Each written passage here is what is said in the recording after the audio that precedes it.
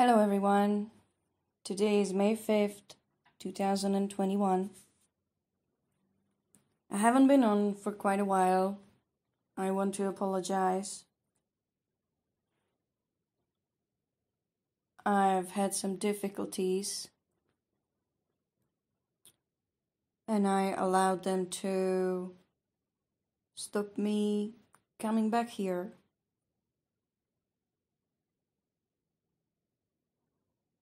Maybe this is something that you can relate to, or some of you, where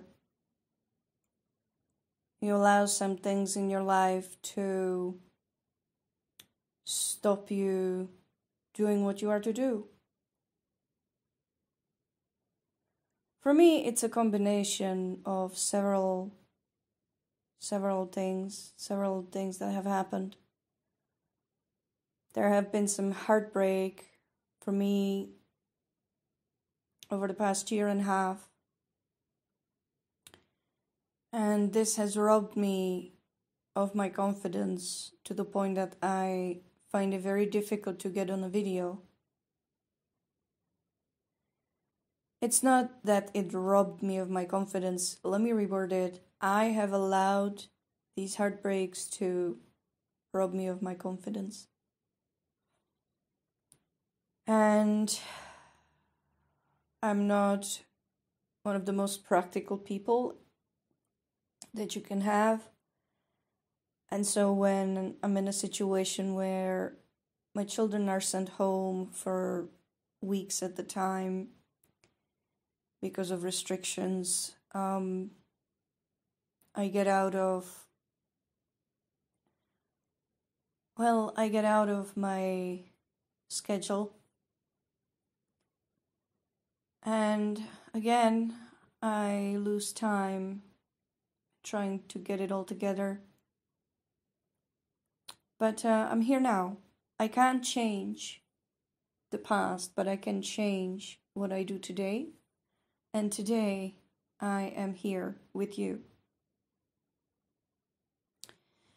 I wrote some points to what Father's been speaking to me about over the last few months. And I want to share that with you. I made myself a cup of green tea. And I'm just going to go point by point. I'm going to say it plainly, as plainly as I can. I am not saying any of this to start a war with anyone. I'm not saying any of this to argue with anybody. I am simply sharing what Father has been speaking with me about. If you find yourself disagreeing with anything I'm saying, that's fine. Please take it to Father.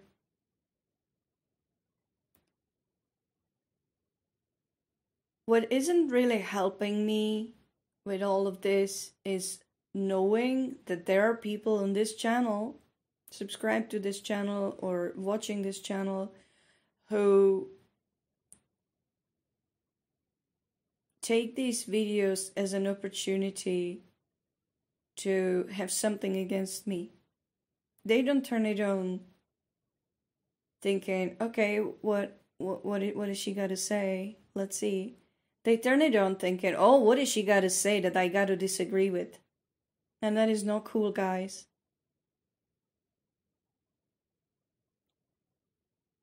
That is not cool.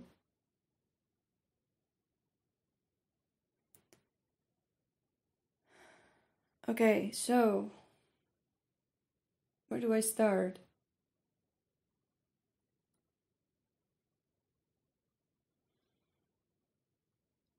Okay, I have been writing a blog over the past month or two. I haven't made it public yet because the study that I'm writing, I also want to make videos with I know there are some people who are better um, absorbing information when they are reading it, and then there are some who are better at understanding it and absorbing it when they are hearing it. And so once it's written, it's a 10 part study or so. I will also make videos with each of these parts where I either read it aloud or I just freehand the material that's that's in the written form. Um, so in the next few days or in, in the next week or so, I will start making these studies uh, on in a video form, and so you will get the link to the new blog. Um, okay. Where are we now? I have said many times in the past, and I testified to this, that the kingdom of heaven is here.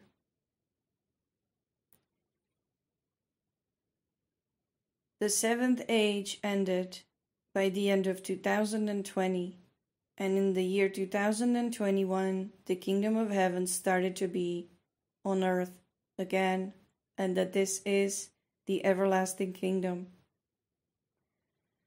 Why aren't we seeing it? Well, we are seeing it, people, just not in the way that we have expected it to be.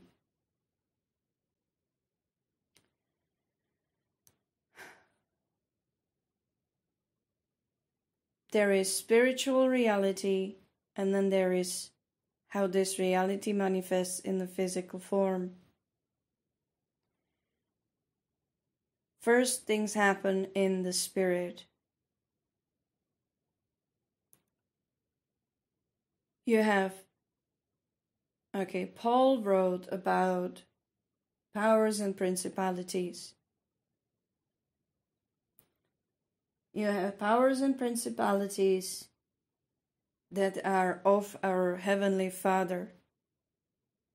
And then I have powers and principalities that are adverse to our Heavenly Father. This is the battle of light and darkness. So, for the kingdom of heaven to be actually on earth, what must happen? Our Father's children here on earth have to be in charge spiritually. Then the kingdom exists. When it is the children of the adversary here on earth that are in charge, then it is not the kingdom of heaven, it is hell. Now, here's the thing imagine a situation where the powers and principalities of the adversary are removed from here. They are no longer here. They cannot give um, give advice or they cannot give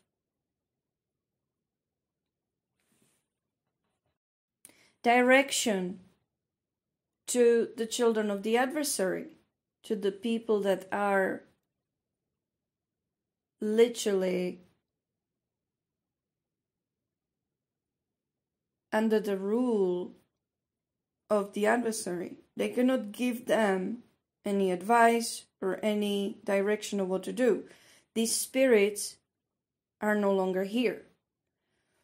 Does that mean that the people that used to receive direction from these spirits are going to come out in the open and say, Hey guys, we lost, our masters are gone, so we're just gonna step aside and you take over the earth? Of course, they're not gonna do it although they have done it in a way.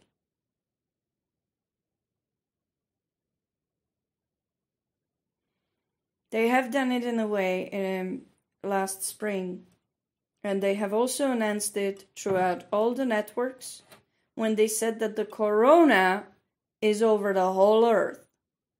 Corona, in their twisted way of speaking, is crown and crown represents our Father and the kingdom. So they have said the truth. Their over- overlords were removed gradually. In stages, they are no longer here.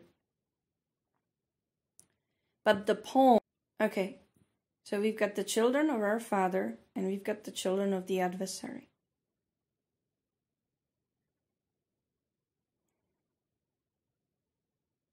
What does it mean?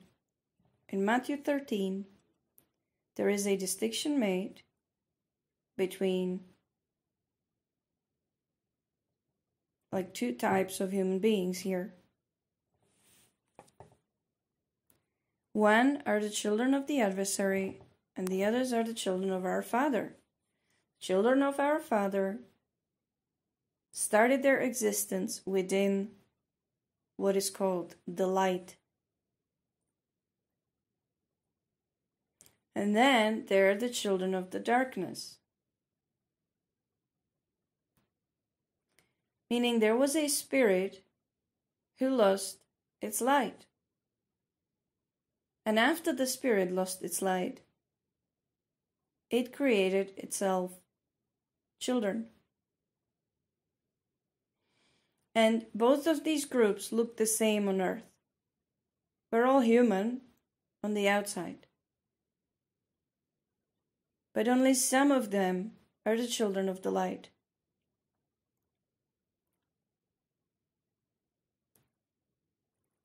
Now, among these groups are some that on the father's side are called the elect, and on the enemy side are called the elected or the elites. Okay?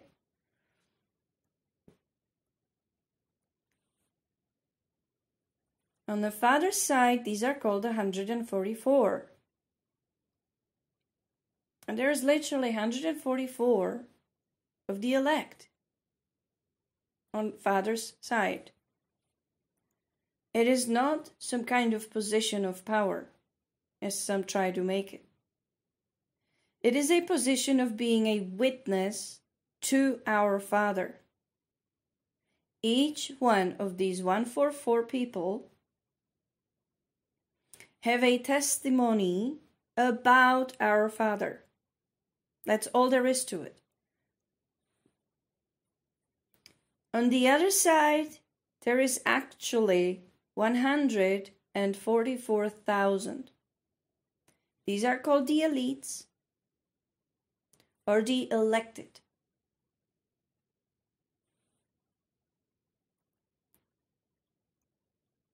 Now, the elites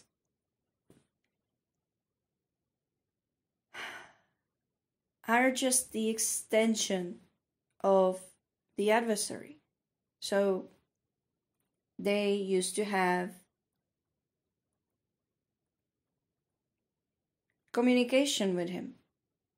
They used to get instructions of what to do, how to run the earth, specifically. Uh, also, among 144,000 are those fallen angels that everyone wants to keep fighting. These are actually people in the highest position in the society.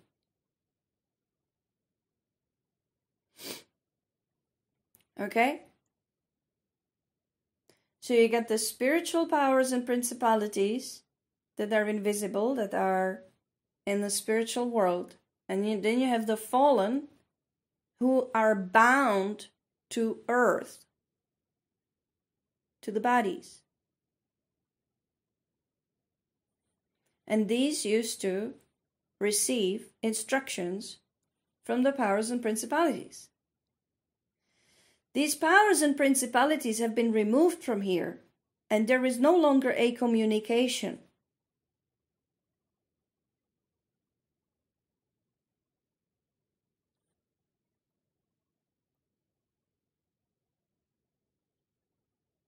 But that doesn't mean that these elites who have lost communication with their overlords are going to just give up. No, they decided to keep going without any instruction, without any of it.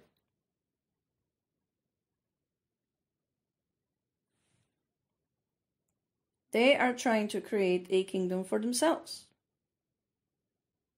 These people, these elites, okay, are not doing it now for the overlords, for the powers and principalities. They are now doing it for themselves. And yet, spiritually speaking, they don't have any right to do that because the power was given back to the children of light. So, why can't we see the kingdom? Well, because at most, the children of light don't want it on the earth. There has been a huge deception going on for centuries. Deception and manipulation of the Word of God, where certain passages of the Bible were explained as if heaven is a far, far away place that has nothing to do with the earth. That is not true. The kingdom of heaven is supposed to be here, it is supposed to manifest in here. And yet, most of the children of light are trying to escape. Until they stop that, until they start participating, we will not see the kingdom of heaven on earth.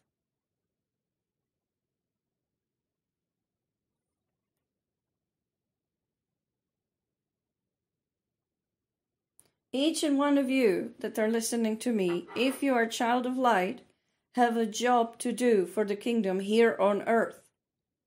Most of you don't want to do the job. And that includes me. I want to do my job, but I haven't done my job in months. Why? Well, I could be telling you why. I could be telling you all the reasons and difficulties and whatever. I could be complaining all day long, okay? But I'm not going to. I'm just going to do my job. There are several jobs within the kingdom. There are messengers, there are teachers, there are watchmen, there are scribes, and there's some other. But let's let's talk about these four, okay? Messenger is a job where Father comes to you and gives you a statement. And he gives you a, a place and a time where to say this statement, where to repeat it, where to announce it. So it can be a one person, it can be a spirit, it can be the whole world, it can be talk on the video, it doesn't matter. You are given a statement from our Father, and you are supposed to just speak it. You are given clarity of where to speak it, who to speak it to, how to speak it. You are not to explain what you were told and what you said. You are not to explain the statement. It is not your job to understand it. It is not your job to teach it. It is not your job to explain it. Your job is to simply state the statement. That is a messenger. That's all there is to it. You are not to get upset when you are not accepted. You're not to get upset when people don't understand it. You're not to get upset when you don't understand the statement yourself. It's got nothing to do with you. This is the job for the kingdom. You are to just simply state it. That is a messenger. There are many messengers out there who are the messengers for the, for the adversarial spirits that are still echoing within the spiritual realm. There are very few that are messengers for the kingdom. Next position teachers. Teachers, on the other hand, are given something from our father. It's not a statement it's a it's a thought it's a topic. They are to research it they are to understand it they are to press hard to get understanding as much as they can and then they're given people who they need to teach it to there are many teachers out there who would rather be messengers. So they get something from our Father, they go and make a statement without understanding it, without explaining it, because they didn't do the work. Okay? That is not good. A teacher has to teach. I was told I'm a teacher. I'm not a messenger. I'm a teacher. And so my job is to dig deep and, you know, find everything that I can about what I'm supposed to teach and then teach it, which is why I'm writing the big study. Then we have watchman. A watchman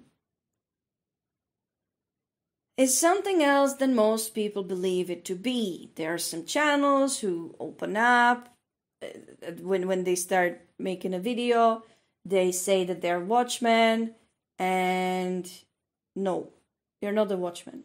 A watchman is a person who is told by our Father,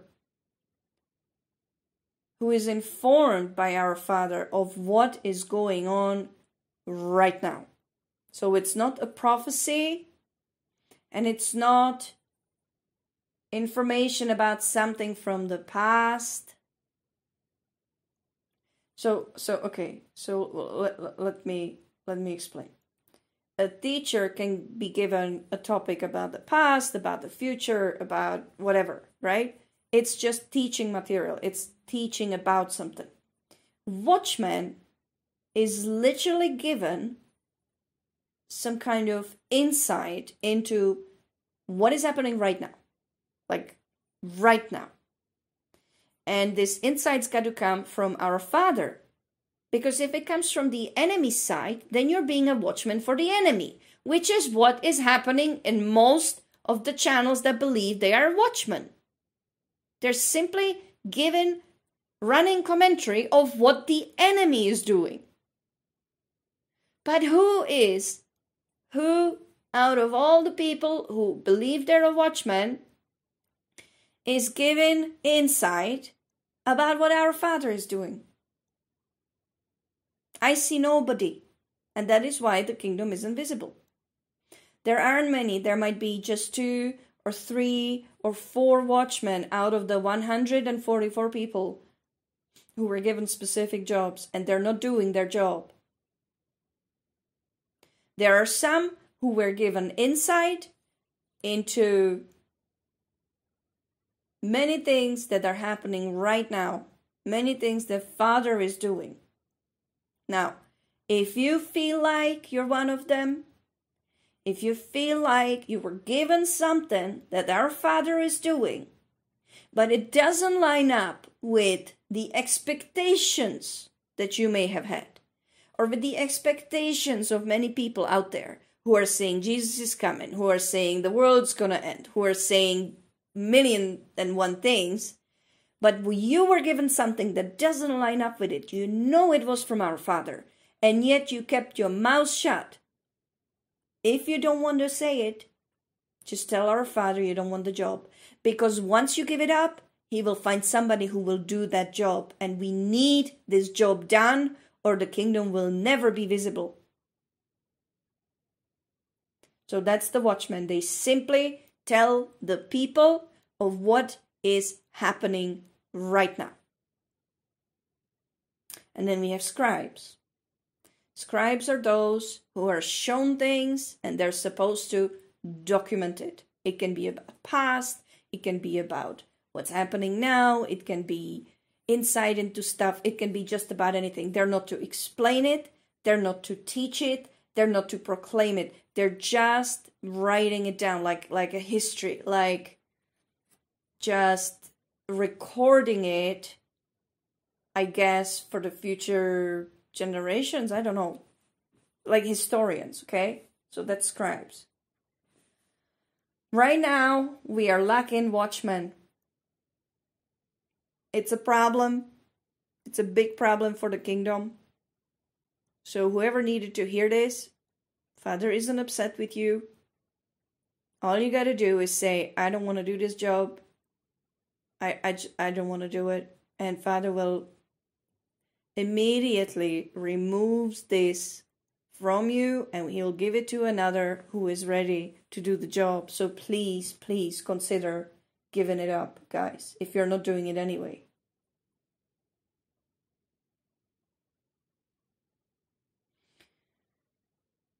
Okay. Um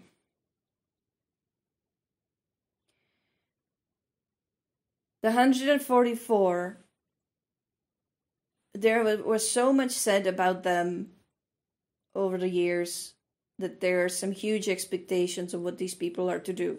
Guys, it's very simple. These 144 are witnesses of our Father. They have each of them a unique testimony about our Father. That's all there is to it. These testimonies needs to be shared with others to get a full picture. And I know I'm supposed to play a role in connecting some of you with each other. And I am sorry that I haven't done my job well enough. If you have a testimony that you would like to share with others, please drop me an email and I am going to try my best to start connecting you with with others. We need to start sharing, we need to start having a communion with each other and I don't mean drinking wine and eating bread. Communion is just being together and sharing the portions that Father has given to each and every one of us. No one person has gotten the whole thing. Okay? We need each other. And we need to start sharing. And I'm not quite sure how this is going to be done, but it will be done. So thanks for listening. Um, again, take everything to Father. Take everything to Father, and I'll be back. I'll be back with some more. I love you all. Goodbye.